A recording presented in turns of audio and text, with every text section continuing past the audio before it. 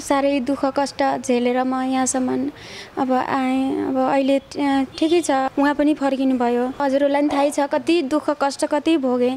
तिमीलाई पाउन गाह्रो भयो। जुन देउता हो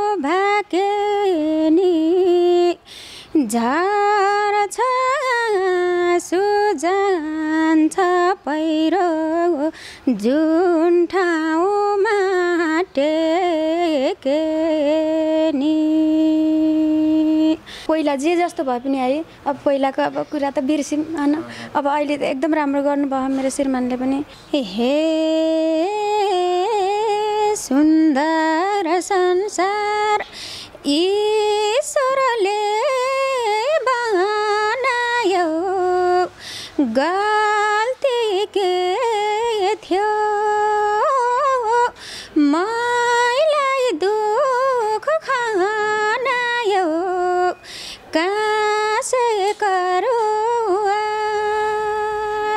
दाइले धेरै मलाई अहिले मात्रै होइन घरमा पनि कुनै कुराको केही कमी भयो भने दाइले नानी भन है म गर्छु भन्नुहुन्छ। अनि दाइले पैसा पठाइदिइराख्नुहुन्छ र यो मेरो आइफोन पनि मलाई दाइले नै दिनुभयो है। रूपा दिदी रूपा केसी दिदी उहाँको बहिनी र मेरो दिदी भनौँ न उहाँले नै मलाई पुऱ्याइदिनु भएको यो आइफोन।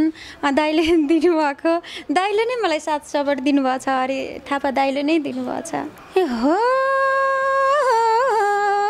बाँचेको थिएँ म जसको लागि तिमीलाई कहिले नपाउने अभागी।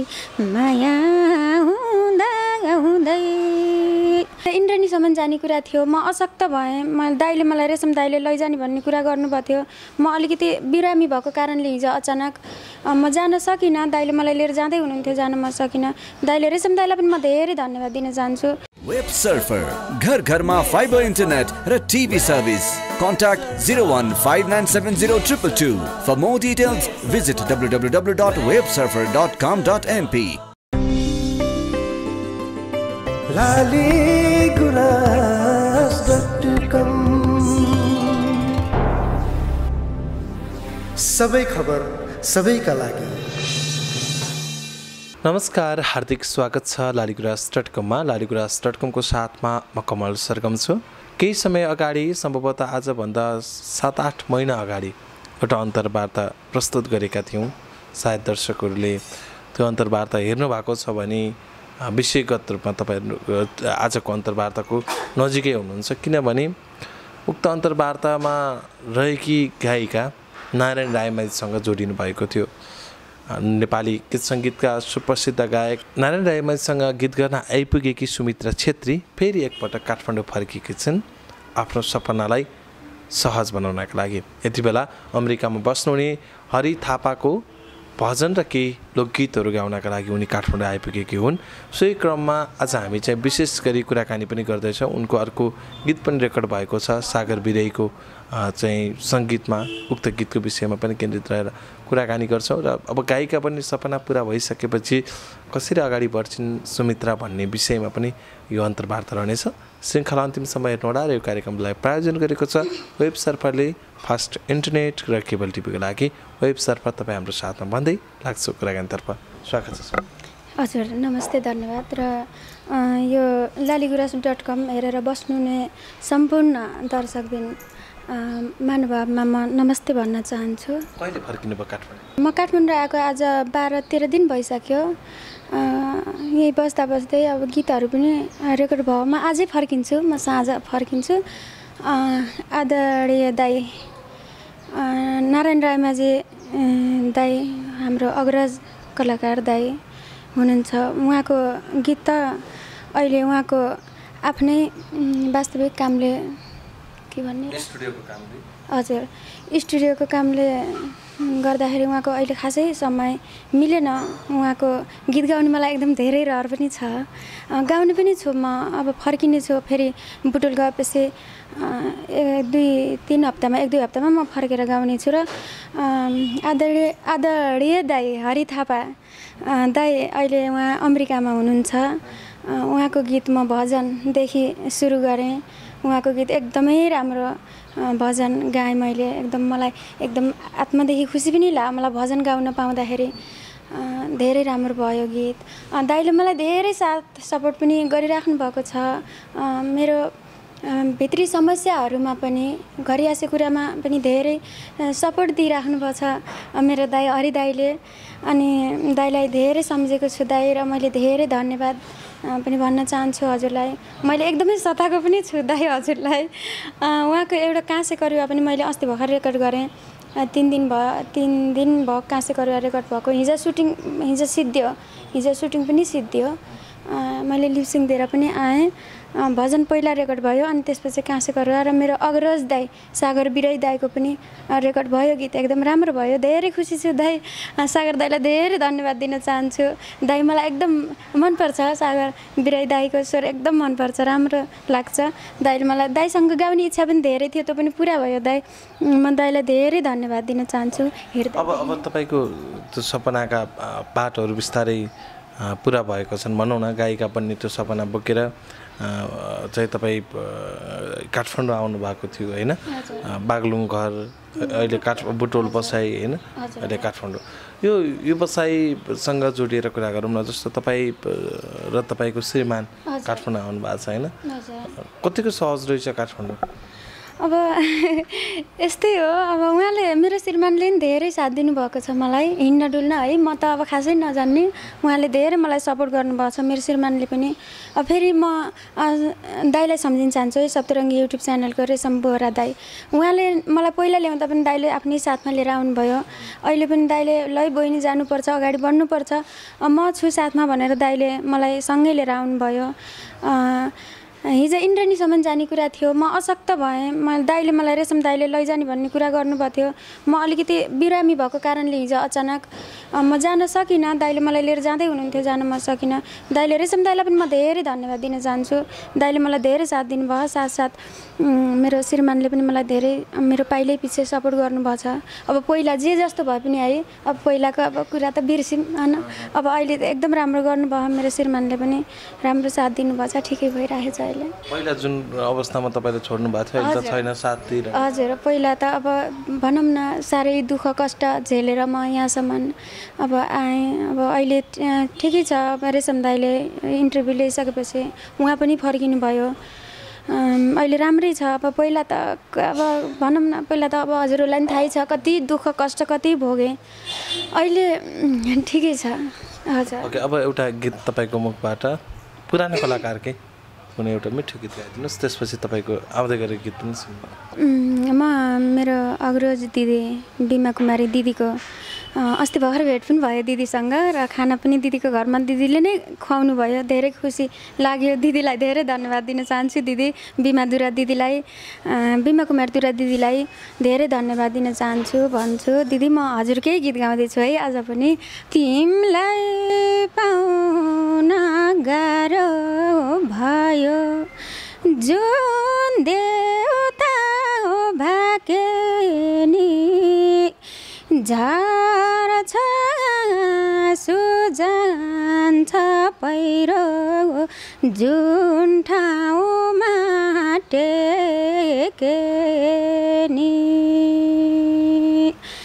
हा हो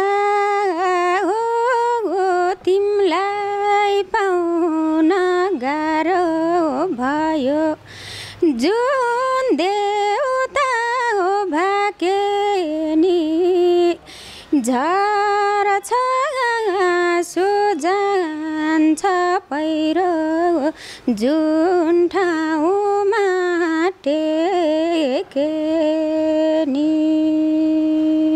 हस् धन्यवाद। असाध्यै मिठो। भजन पनि गाउनुभयो तपाईँले? हजुर म भजन पहिलो रेकर्ड भयो यहाँ। हस्। म हरि दा हरि थापा दाईको गीत गाएँ। अस्ति भर्खर भजन पहिलो रेकर्ड भयो मेरो यहाँ आएपछि म त्यो गीत गाउन चाहन्छु।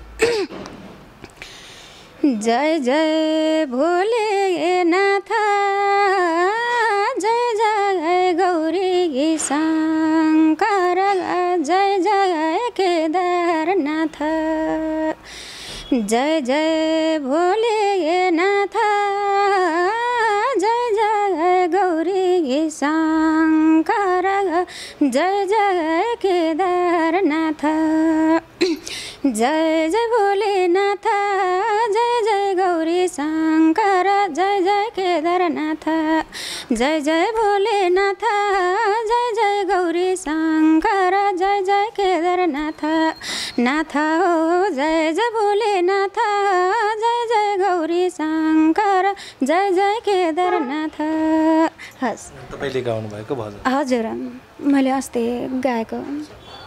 कतिको सहज रहेछ गीत गाउन चाहिँ? जसरी तपाईँले बाहिर यसरी गाउनु पनि स्टुडियो सिरिज। स्टुडियो छिरिसकेपछि त अब यस्तो बाहिर गए जस्तो त नहुँदो रहेछ कि धेरै फरक है। त्यहाँ के के अब सुर ताल के हो के हो है मिलाउनु पर्ने अति गाह्रो। त्यही पनि मेरो आदरणीय दाई मेरो जुजु गुरुङ दाई। उहाँ दाईलाई उहाँ दाईले मलाई धेरै साथ दिनुभयो है स्टुडियोभित्र। गइसकेपछि उहाँले मलाई धेरै कुराहरू सिकाउनु भयो क्या नानी यसरी गर्नुपर्छ यसरी गर्दा राम्रो हुन्छ यस्तो गर्नुपर्छ भनेर उहाँ सँगै राखेर सँगै बसेर उहाँले मलाई रेकर्ड गराउनु भयो। दाइ धेरै धन्यवाद दिन चाहन्छु हजुरलाई मैले। म अन्जान मान्छेलाई हजुरले मलाई अब यसरी साथ दिनुभयो दाइ मैले त यिनी कुराहरू सोचेको पनि थिइनँ। यति माया गरेर मलाई साथ दिएर आज मलाई गीत गाउन सफल बनाउनु भयो। यो क्षेत्रमा भर्खर अब हामी त म त कोपिला नै हो। अब अझै धेरै कुराहरू सिक्नु छ पाइला सार्नु छ भर्खर ताते ताते गर्दैछु। दाईहरूले साथ सपोर्ट दिनुभएको छ मलाई धेरै खुसी लाग्यो। दाईहरूलाई धेरै धन्यवाद दिन चाहन्छु मैले। र मेरो मैले मलाई यस्तो लाग्छ कि मैले पहिलो गीत मैले मेरो बुटोलमै भएको गीत है दुइटा राजु महत्रा दाई आदरणीय दाई राजु महत्रा दाई। हजुरलाई मैले बिर्सेको छैन दाई हजुरलाई हजुरलाई गुनासो छ बहिनीले बिर्से भन्नुभएको छ। मैले बिर्से छैन दाई अब त्यस्तै त हो म खासै बोल्न नजान्ने म यो पनि भन्न चाहन्छु। मैले बिर्से छैन दाई मैले पहिलो गीत गीत गाउने मौका हजुरबाटै पाएको हो। राजु महत्रा आफै सर्जक र आफै मोडल पनि हुनुहुन्छ उहाँ। अनि दाइले धेरै माया गर्नुहुन्छ। मेरो मर्ने चोला गीत मैले पहिलो एल्बम मैले मर्ने चोला गाउन दिनुभएको दाइले अनि त्यसमा लय शब्द थियो अनिस खड्का भाइको र स्वर पनि मेरो र अनिस खड्का भाइले नै दिनुभएको हो स्वर। भाइ म बिर्सेको छैन। हजुरलाई भन्न चाहन्छु धेरै सम्झिराखेको छु। किन बिर्सिन्थेँ र म बिर्से छैन भाइ? म कहिले बिर्सिने छैन म यही भन्न चाहन्छु। अब काठमाडौँमा चाहिँ तपाईँले गीत गाइरहँदाखेरि यो खर्च व्यवस्थापन कसले गरिदिएको छ यहाँ बस्न चाहिँ? अहिले मलाई हरि थापा दाईले नै गर्नुभएको छ। दाईले धेरै मलाई अहिले मात्रै होइन घरमा पनि कुनै कुराको केही कमी भयो भने दाईले नानी भन है म गर्छु भन्नुहुन्छ। अनि दाईले पैसा पठाइदिइराख्नुहुन्छ र यो मेरो आइफोन पनि मलाई दाईले नै दिनुभयो है। रूपा दिदी रूपा केसी दिदी उहाँको बहिनी र मेरो दिदी भनौँ न उहाँले नै मलाई पुऱ्याइदिनु भएको यो आइफोन। दाईले दिनुभएको। दाईले नै मलाई साथ सपोर्ट दिनुभएको छ अरे थापा दाईले नै दिनुभएको छ। भनेपछि तपाईँलाई अहिले त्यस्तो ठुलो समस्याबाट चाहिँ केही हदसम्म बाहिरिए जस्तो महसुस भएको छ? हजुर। काम के गरिरहनु भएको छ अहिले चाहिँ? काम मैले त अब घरमा त केही गरेको छैन खासै। अब दाईहरूले गीत दिनुहुन्छ नानी पहिल्यै सिकेर राम्रो गर्नुपर्छ है। सिकेर भन्नुहुन्छ दाईहरूकै गीत दिन्छु। अहिले अझै दुई तिनवटा गीत छुट्यो मेरो। अब म फेरि आउनेछु पर्खिनेछु मेरो श्रीमानले चाहिँ गाडी अहिले गाडीतिर यसो केही गर्छु भनेर गाडीतिरै लाग्नुपर्छ अब हजुर अब लाइसेन्स निकाल्छु भन्ने कुरा कोसिस गर्नुभएको छ उहाँले। अब लाइसेन्स निकालेपछि आफै चलाउनुहुन्छ। अहिले चलाउनु त चलाउनुहुन्छ तर लाइसेन्स नभएपछि गाह्रो छैन। अब हुन्छ राम्रै हुन्छ आस्ते आस्ते हुने त हो। अब एउटा गीत सुन्छौँ। तपाईँकै अर्को नयाँ काँसे कि के भन्नुभयो? हजुर काँसे करुवा हरि दाईको गीत गाउन चाहन्छु उहाँले उहाँले नै सिर्जना गर्नुभएको गीत गाउँछु म। हे सुन्दर संसार ईश्वरले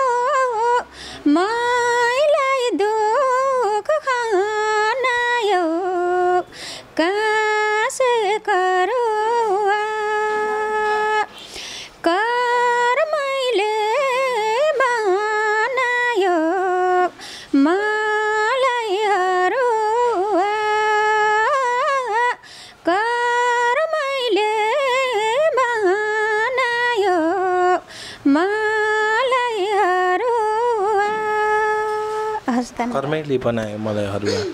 यो तपाईँको आउँदै गरेको नयाँ गीत हो। हजुर हिजो मात्र सुटिङ भयो यो गीतको। कसले गाउनु भएको छ? अ, म एकल गीत। हजुर लोकगीत एकलै गाएको छु। वास्तवमा भन्नुपर्दा यो गीत हरिदाईले मेरै जीवनमा जस्तो मैले भोगेँ नि। भोग्दै गरेका कुराहरूलाई समेटेर मैले दुःख जति पाएँ तिनी कुराहरूलाई समेटेर दाइले बनाइदिनु भएको है। मैले दाइ मेरो लागि कुनै एउटा गीत बनाइदिनु न। मैले यस्तो दुःख भोग्दै गरेका गीतहरू बनाइदिनु न दाइ भन्दाखेरि उहाँले यो गीत रचना गर्नुभयो अ, दाइले अनि यो छ यो गीत छ यो यस्तो गर्दै नानी यो गीत गाऊ भन्नुभयो। धेरै खुसी लाग्यो मलाई दाइले त्यो भन्दाखेरि। यो मेरै लागि बनेको गीत हो जस्तो पनि हुन्छ। धेरै खुसी छु। अर्को तपाईँले सागर विरयसँग गाउनु भएको हजुर। दाई सागर बिराई दाईले दिनुभएको गीत गाउन चाहन्छु। हो बाँचेको थिएँ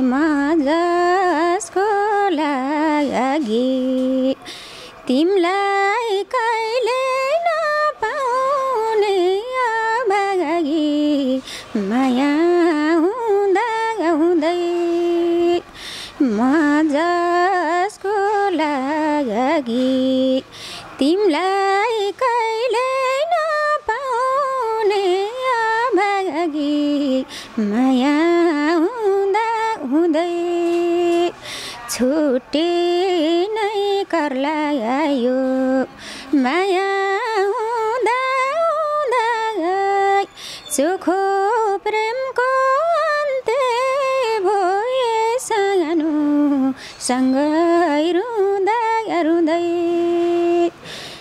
हस् धन्यवाद अब जाँदा जाँदै तपाईँ फेरि गाउँ फर्किँदै हुनुहुन्छ।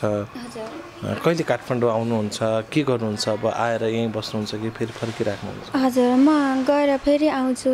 दुई हप्तापछि दुई तिन हप्तापछि फर्केपछि म अब यहाँ बस्न त अब यही नै सजिलो हुन्थ्यो है।